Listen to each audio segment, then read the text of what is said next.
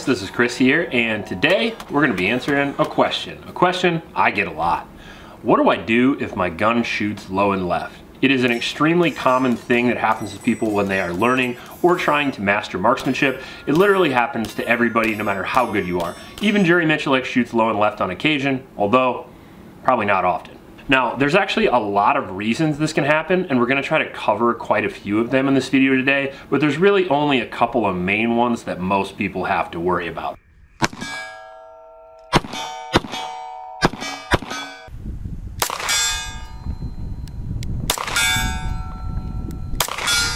First off, let's talk about some of the things that you might be doing to make the gun shoot low and left, and then we'll discuss some of the things that maybe your gun is doing. Likely, it's you, it's hard to admit that, but the more you can self-diagnose yourself, the better marksman you're gonna be. Now, before we get into the video, I do want to mention my Patreon supporters. Thank you guys very much. It's because of you we have all this cool stuff to review, and we really appreciate it. If you like the channel and you think the information is valuable, make sure to go in the description below and sign up for Patreon. Also in that description is a link to a local shelter named Iowa. It's the YSS. Those kids could really use your help, so please go down there and donate to those kids.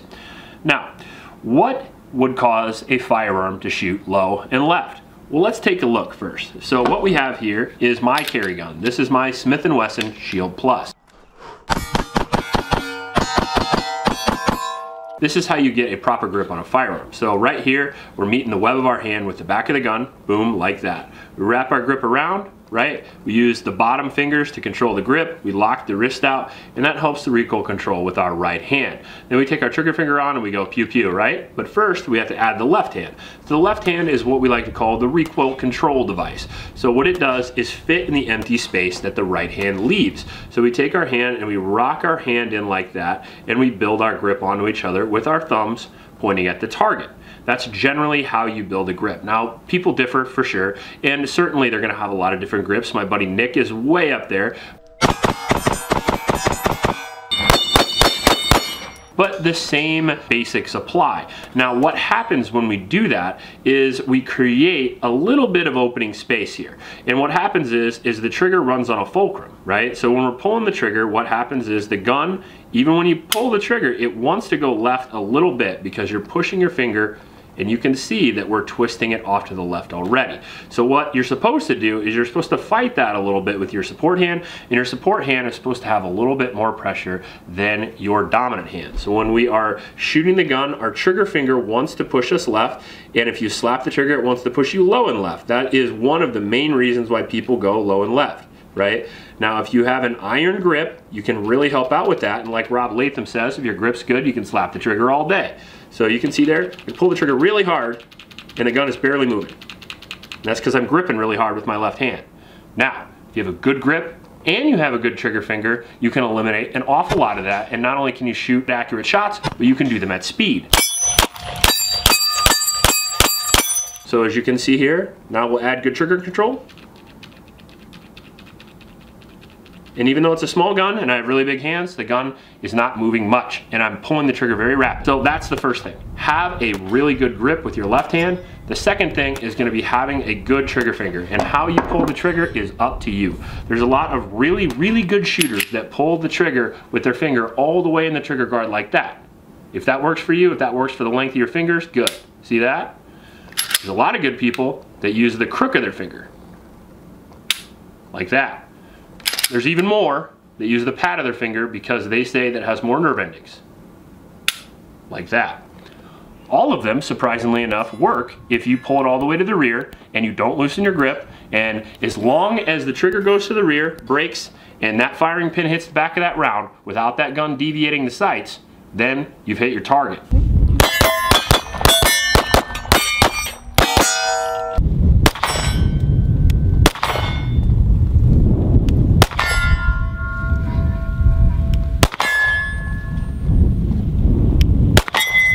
And the best way to figure out whether you've done that or not without ammo is just dry fire practice.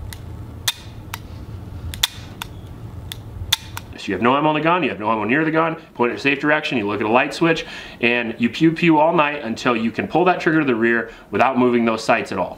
Keep the sights in the sight picture, keep your front eye focused on that front sight, or you obscure it if you have a dot, and you just keep working on it. Now a dot will help you even more because not only a dot can use zero to make absolutely sure it's not your sights, but the dot will actually comet a little to the left or a little to the right if you're going low and left or low to the right and you can see really well if you're doing it or not. Now the second thing I want to talk about is anticipating recoil. So let's take this uh, CZP-07 here because I want to use uh, different size guns to uh, exemplify some things. So first off, with a double action gun, the reason why I got a double action gun when I was younger is to work on trigger control. So I don't have to rack the slide. If I want to keep working the trigger, I can do so. And you can keep doing that same drill to worry about your left hand and worry about your trigger finger. Now, a lot of people do that drill, they'll go out to the range and they'll still be shooting low and left. And they have no idea why, because they're like, I watched the Outlaws video, I did what he said, this asshole lied to me, and I don't know what's going on. The second thing that can happen is anticipating recoil. So what we do is we have a good support hand, we have a good trigger finger, but right when you're about to break the round, you know there's a real round in there now, and now you know the gun's gonna kick back you a little bit, it's gonna make some noise, it's gonna be kind of scary. So what we're gonna do is we're gonna over tense our right hand, right? We're going to use 60% of our pressure with our left hand, 40% with our right hand. At the very moment we break the trigger, we're gonna squeeze hard. And as soon as we squeeze hard, your right hand is gonna push your left out of the way and you're gonna dip that bitch low and left. And that is why we really have to work with live rounds as well. Dry fire is great, but it is not everything. So what we have to do is really focus on working with live rounds. We have to keep that left hand locked. We have to keep that trigger finger going to the rear without deviating the sights whatsoever. And at the very moment it's gonna break, you gotta really focus on not giving it any more hand than you already have. Your dick likes it, but your gun does not. So to recap, things you could be doing wrong, gun likes to go to the path of least resistance, and by the way, low and left just applies to right-handed shooters. 90% of shooters are right-handed. So 90% of you are gonna go low and left. 10% of you are gonna go low and right because you're, you're wrong-handed and you're gonna go the opposite direction. The path of least resistance is just simply off the side of your dominant hand. Now if you're shooting just low, that means luckily for you, you have a pretty decent grip. However, you're just pulling the trigger hard to the rear and you're slapping it down, boom, like that, and that's a little bit easier to fix. So low and left or low and right can easily be fixed depending on which hand that you are. Now the anticipating recoil thing, that is difficult to master. I'll be honest, many great shooters, I mean, that are much better than me still do it, and I do it all the time.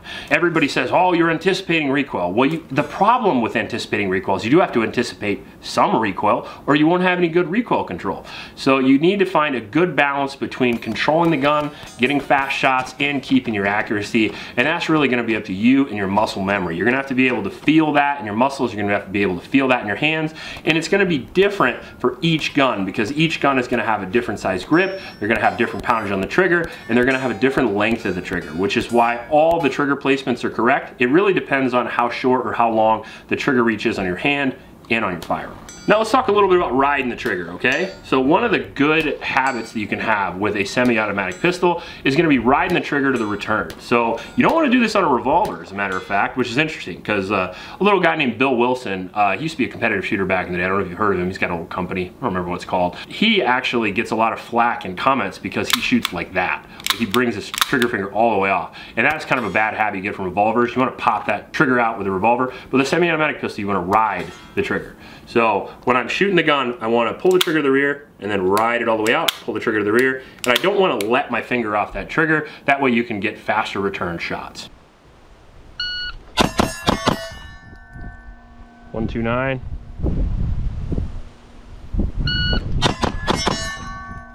One, two, one.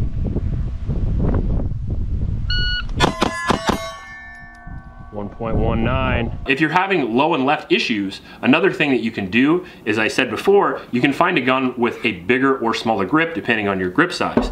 Now I famously shoot low and left with SIG P365s. You can see there that the grip is extremely small. If you look at the pistol in my hand, it's not exactly meant for me. Now if I pick up a 1911, I'm shooting straight all day. And the reason for that is because the trigger reach is exactly where I want it. I have long fingers, by the way. In a 1911, you can actually get longer trigger shoes so it can hit the pad of your finger where you like. But mostly, a 1911 has a very light and crisp single action trigger. So there's just less for me to fight and less room for error. Now, let's talk a little bit about mechanical issues. Could it be your firearm? It certainly could be. Some guns we've had on the channel, I think maybe like five out of 100 or so, come with sights that aren't sighted in from the factory. Now usually when those things take place, they're usually up and down, but sideways does happen.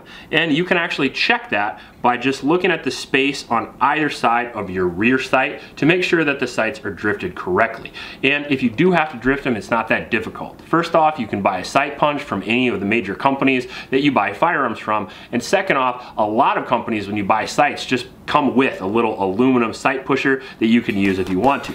They do leave a little bit of marring on the side of your sight, but it is what it is. A gun's a tool, so who gives a shit? It also looks kind of cooler if it's been used anyway, and you didn't even have to shoot it. All you did was tap in some sights, and it already has that cool battle-worn look to it, just because you can't aim. Now, you can drift the sight either way, or what I would recommend personally getting a dot if you can. And the reason why I say that is because a dot will really help you self-diagnose that issue of going low and left or low and right. Because if you're shooting and the gun's going low and left, but the dot stays a dot, it doesn't comet one way or the other, well, you know all you have to do is re-zero the dot, and dots are so much easier to re-zero at particular distances than iron sights are.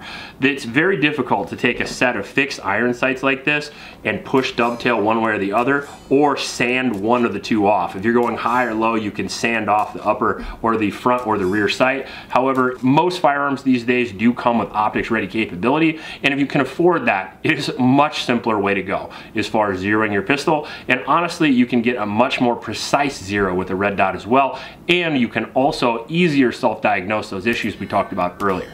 That being said, it isn't gonna change your technique, so just by buying a red dot, are you gonna be automatically a better shooter? Absolutely not, but it will help you out. So that is just something to think about. If this video helped you out, let me know. I actually got asked this by a guy named Craig who did my MRI. I appreciate you, Craig. Thanks for the uh, video idea, and hopefully this helps you shoot a little bit better. If you like this video, please like and subscribe. Please support our Oklahoma Shelters, and remember to recycle. I'll check you later.